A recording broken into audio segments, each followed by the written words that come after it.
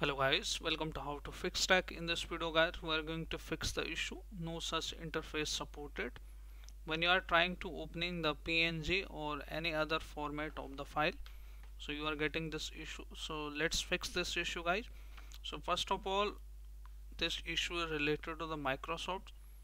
So go to install apps on your system. And this is the inbuilt feature of the microsoft that any apps and photos open default in the photos. So you need to type your photo. And once you type your photo go to Microsoft Photos and go to three dots here simply and click on advanced. And you can repair it once.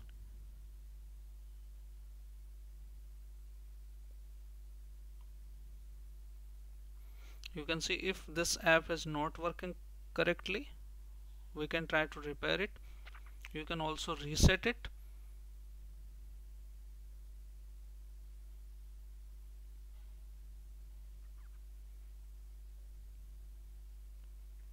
So once reset is done it should fix your issue close this out and check if it fixed the issue or not.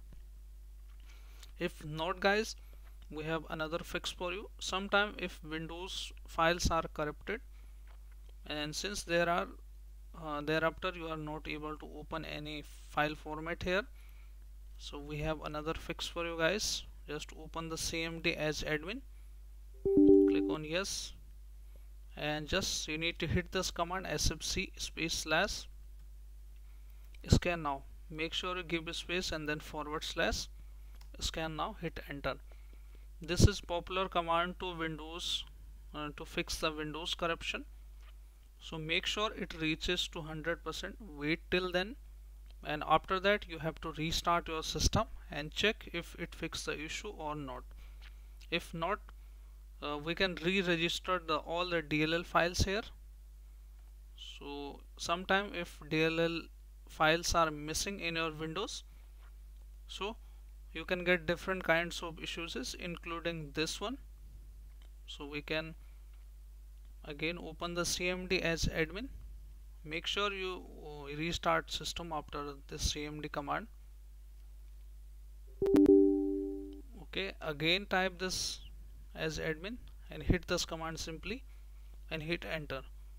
Once you hit enter you can see it has succeeded in the registering DLL files. All the DLL file will be registered so once all the DLL files are registered on your Windows just restart your system and check if it fixed the issue or not. And make sure your system should be updated as well.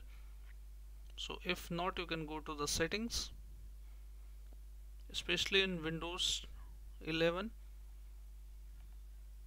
and go to Windows update and you can see my system is pending restart. So make sure restart it complete all the updates and check it should fix your issue. So this is how guys you can fix the issue. No such interface is supported.